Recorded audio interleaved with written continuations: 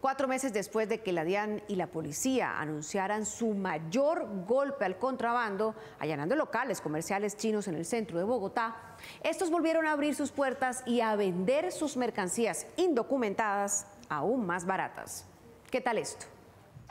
El pasado 20 de septiembre, la DIAN y la Policía Fiscal y Aduanera Polfa incautaron 3.125 millones de pesos en mercancía de contrabando que empresarios chinos estaban vendiendo sin permiso en el sector de San Victorino de Bogotá. Fueron decomisadas cerca de 500 mil prendas. Hicieron todos los operativos eh, tendientes a, a, dar este control y hasta el momento no existe una sola sanción. Se hablaba de 38 puntos de venta que, había, que habían abierto los chinos.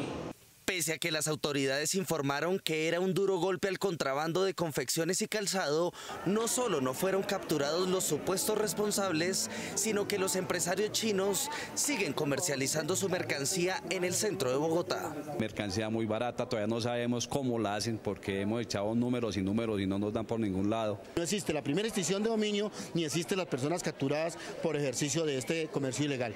Por eso el gremio de comerciantes colombianos, que por dos décadas han vivido de vender ropa al por mayor en el madrugón, manifestó su inconformidad en la Comisión Quinta del Senado, porque si el gobierno no combate el ingreso de ese mercado, podrían quedar en quiebra 12 mil microempresarios. Una blusa que una fabricante colombiana hace y le sale por 22 mil pesos, haciendo todas las economías del caso, eh, ellos la dan en 8 mil, 9 mil pesos. Entonces uno dice, pero ¿cómo lo hacen? Porque aquí lo que está viendo es una especie de masacre de, de pequeños y medianos empresarios de todos los tipos, avasallados por unos capitales descomunales que además nadie sabe de dónde llegan, utilizando todo tipo de formas de dumping. ¿no? Dumping es vender por debajo de los costos. Con su monopolio de dinero, con sus dineros que no se sabe de qué tipo vienen, que eso ya le compete acá, aquí a los entes si son legales o ilegales.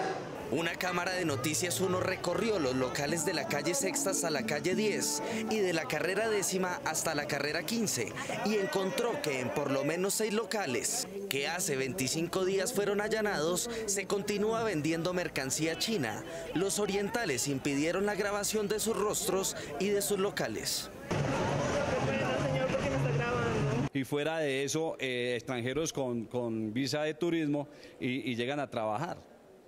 Todo eso nos perjudica. Para Mario Valencia, vocero de Justicia Tributaria, el contrabando chino está ingresando al país por Panamá es un comercio subfacturado, es decir, que no es un comercio real, sino que opera realmente es como un mecanismo que permite a los contrabandistas y a los lavadores de activos y a, a todo tipo de comercio ilegal operar desde ese territorio, afectando pues a sus vecinos más cercanos que somos nosotros. El experto tributarista añadió que el gobierno debe tener voluntad política para blindar a los pequeños empresarios de San Victorino, que generan cerca de 2 millones de empleos en todo el país. Para detener ese comercio desleal desde, desde China, que se hace a través de Panamá, es establecer mecanismos de control como aranceles o eh, perseguir de manera más severa el contrabando que está ingresando desde ese territorio. Son 702 locales y 435 puestos de madrugón que salen miércoles y sábados a vender prendas que se sienten afectados por el mercado ilegal de ropa en San Victorino.